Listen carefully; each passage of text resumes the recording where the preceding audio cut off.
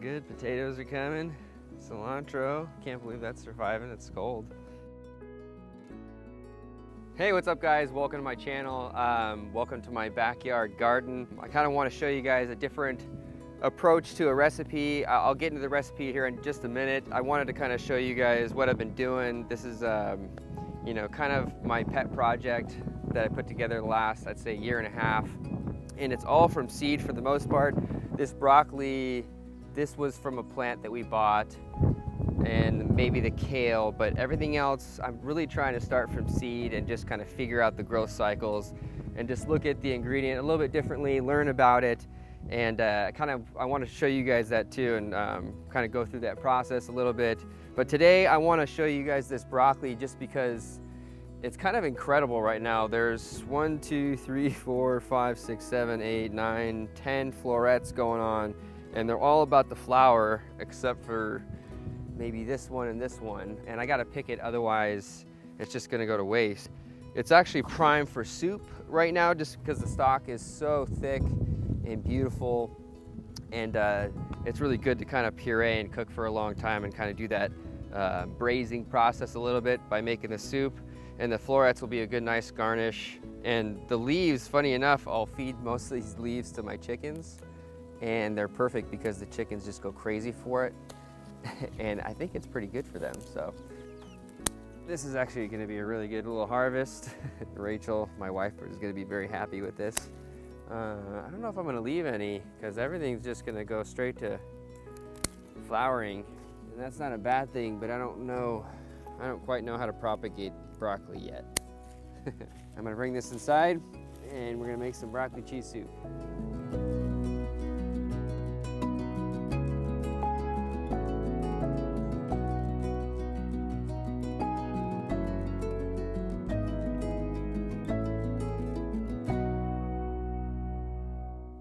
So for a broccoli cheese soup, I mean, it, it basically starts out with a roux, um, which is butter and flour, but I'm gonna add some onion and um, kind of start it out like that. Actually, get my uh,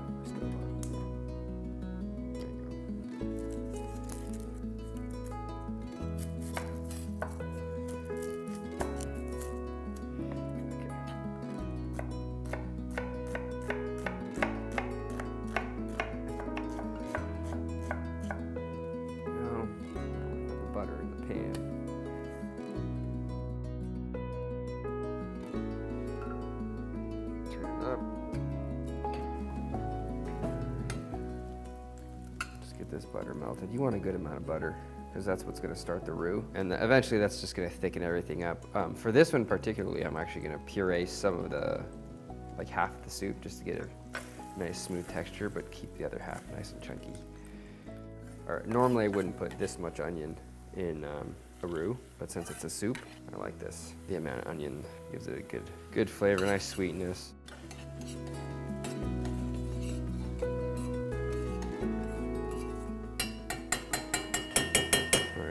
Add the flour.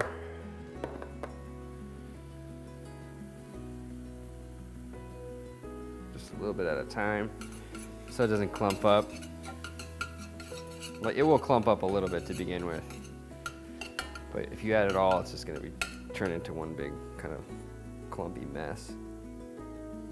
Right, that should be good. I'm gonna cook that starch out to get rid of that kind of that gummy flavor. I don't know. You don't want it to taste like flour. You want it to thicken up. All right, that should be good. Turn this down just a little bit and then add the, the milk.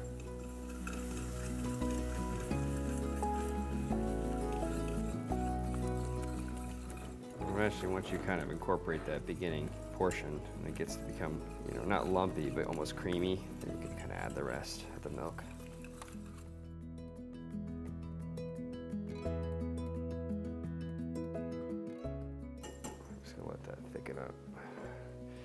Okay, so I'm actually gonna add some cardamom. Normally, folks will add like cloves or cinnamon or something like that sometimes to the base of the broccoli soup. And it just kind of adds like this spicy flair. Um, gives it a, just a little kind of an interesting flavor to the broccoli soup. That's fine. just a couple of crushed peppercorns. So just with a pot or a pan, let's move this out of the way so you can see.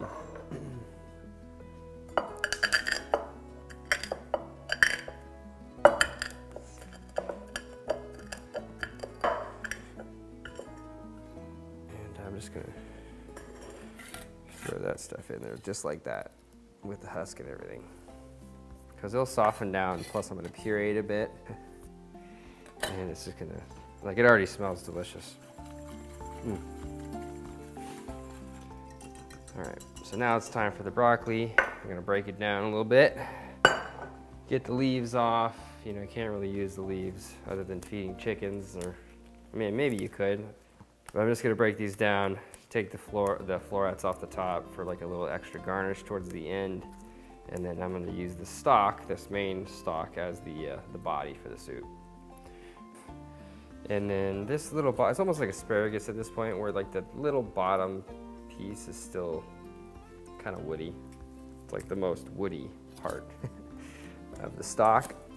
It's really, it's actually kind of hard to cut, yeah. So get rid of that. This is, the majority of this is gonna be pretty hard. That's why you're gonna make soup from it. Um, but I'm gonna cut most of it into chunks. And these florets, I'm actually gonna keep, I'm gonna cut them up a little bit so I'll add them later in during the cooking process because if you add them right now, they just kind of fall apart. So you kind of wanna just keep that integrity towards the end if you can.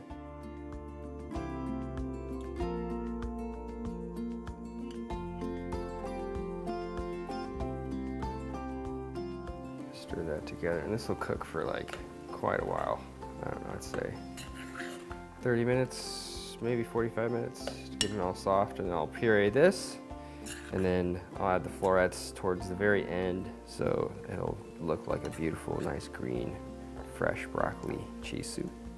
All right, so this has been cooking for, I don't know, about 30 minutes. Everything's pretty much tenderized.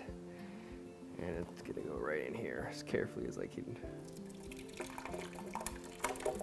Oh, I knew I was gonna do that.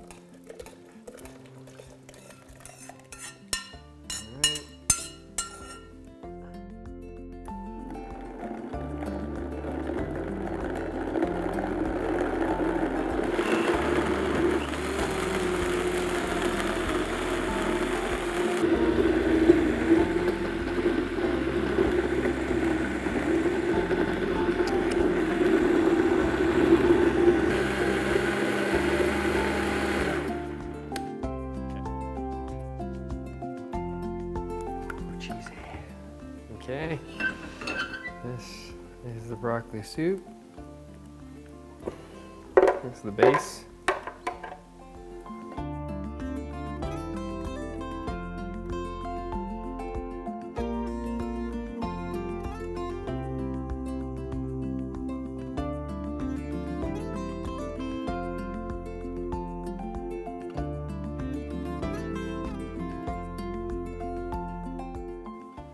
broccoli soup's done. Now I'm gonna do this little, um, kind of like a little thick sliced crostini, like a thick sliced bread with some sharp cheddar cheese right on top. And I'm gonna toast this in my broiler. One second. All right, it's gonna go in the broiler. And I'm gonna plate this. I want some of that fresh broccoli. Fill it up about halfway.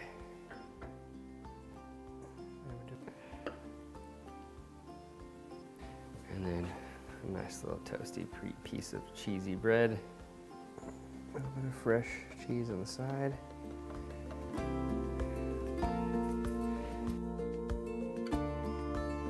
so this is good to go. Let me turn this off. Let me dive in and uh, run through some of the flavors because this looks really good.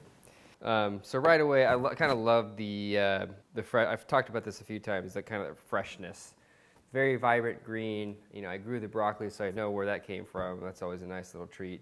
And uh, you know, making it from scratch is great, especially because you can adjust it how you like um, from start to finish. But uh, let me dive in and kind of see what's going on here. So, of course, I'm going to use this as like my little vehicle for deliciousness.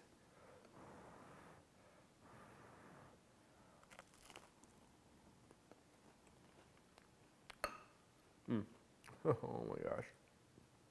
So good. Really nice balance of flavors. Just the right amount of cheesiness. Not too salty. Really good broccoli flavor. Stellar.